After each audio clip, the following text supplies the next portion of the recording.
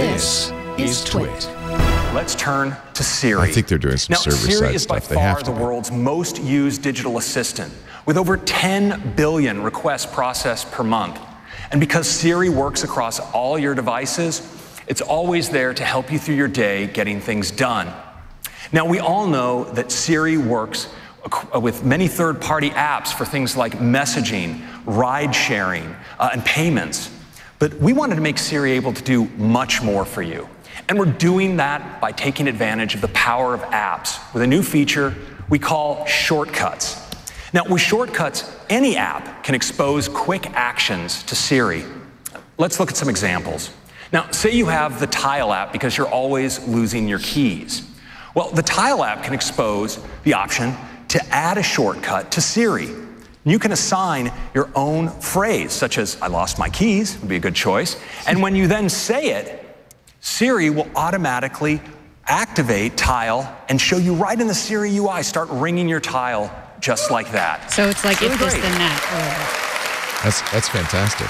Yeah, Android is. Of course, there- there's so kept saying would be doing something thing. like You could this. say game time to get your team's schedule from Progressive loading of apps. or help me relax to kick off a meditation. And of course, it all or order my depends on developers incorporating these features into their apps. You know, with millions of apps, Shortcut enables incredible possibilities for how you use Siri.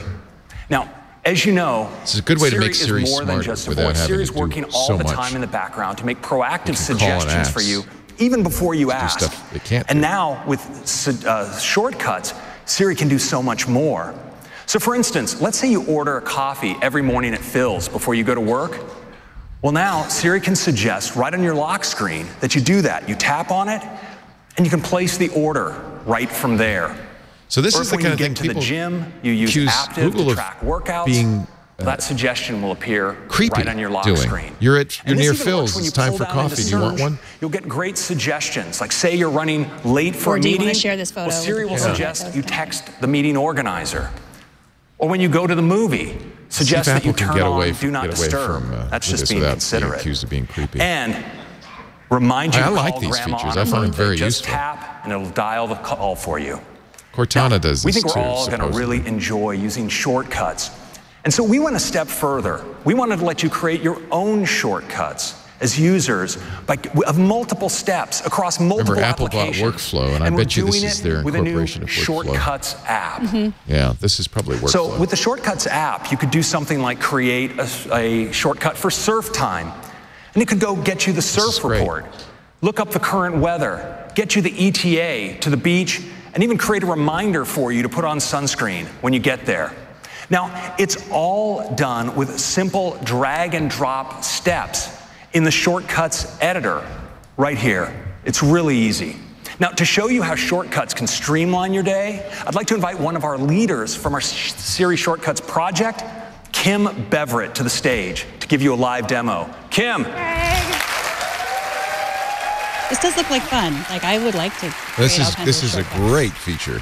It, well implemented. This I is am so this is stoked killer. to show you Siri shortcuts. To do that, I'm going to walk you through my day. So imagine it's the morning, I'm headed to work. So and I pick up my developers will add these features to their apps. this You'll be able to create Phil's your own Coffee. routines. Siri has learned that I do this most mornings, so now I can just tap on the suggestion and I see all the details I need to confirm my perfect mint mojito right here on the lock screen She's without even going into the app. in the morning? So let's get It's caffeinated. coffee. Oh, but and it's, but it's got mint in it. Sounds Fast forward a little bit. No rum, I'm though. sitting at my desk at my office. Chris, you're drinking know when hazelnut. my I can smell it from here. So I'll go to the up next you next might widget. like a mint mojito. And it looks I like would. I'm running a little With late rum. for a rather important meeting, so I should probably let someone know.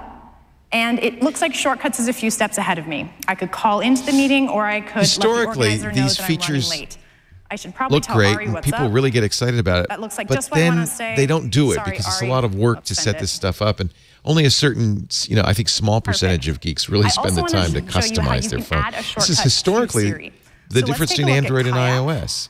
I keep Is that iOS you didn't have so many customization Kayak. features and Most people liked Android because they could post-WWDC customize it. This is an trip to interesting, Los Angeles. uh, you can choice see for I've Apple. got my flight, my I like it, but I wonder how many the people will use this. Everything I need, but what I really want is to be able It's to like use 3D this and get this touch or force touch. It's my the workflow app. It's a nicer interface So, than the workflow app, but this is clearly And I workflow. can just tap Add to Siri. Apple bought.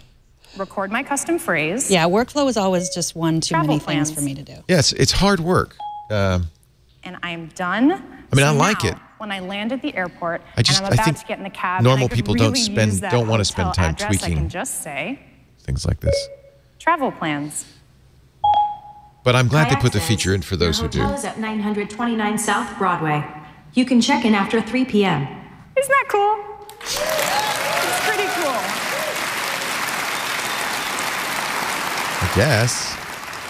So I would love to be on that vacation, but I should, I don't know, probably finish this demo. So let's Google's head been back trying to do work, this and without I your can show you how the intervention, which maybe is why it's considered favorite home. creepy.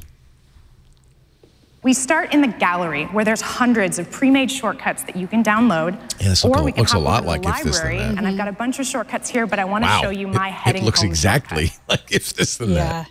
You can see that it's just really a series of steps. It grabs my location and my travel time, and it sends. I see. I love this kind of stuff, roommate. but Yeah. It sets is- my HomeKit thermostat to 70 degrees and it turns on my fan. And last, it gets directions home with Apple Maps with the best route to avoid traffic. Now, this is already pretty cool, but I happen to be an NPR News junkie, so I should probably just add that to my shortcut to save me some trouble on the ride home. Let's tap search. And there's a bunch I can add here, but I can just tap Siri suggestions. And there it is play KQED radio. Drag this in, drop it, and we're set. I've already added this shortcut to Siri with the custom phrase heading home. So now, whenever I leave work, I can just say, heading home. You're watching will get live there in one hour. coverage of Apple's sent a message to WWDC Keynote 2018. Your Leo Laporte with Megan Morrone. Degrees, and I turned on the fan, playing KQED radio. Right? Are you going to do that? Um, I already tried to do that with the automation in the home app, and it has never worked. Like I have it set to un- when I arrive home, unlock my door and turn on my lights. It's never worked. Yeah. So if it works, yes, I will try it for sure. And that's Siri Shortcuts. It works on iPhone and iPad, and of course, you can run your shortcuts from your HomePod This is an and iOS your Apple Watch. 12 feature. That's your quick update on Siri.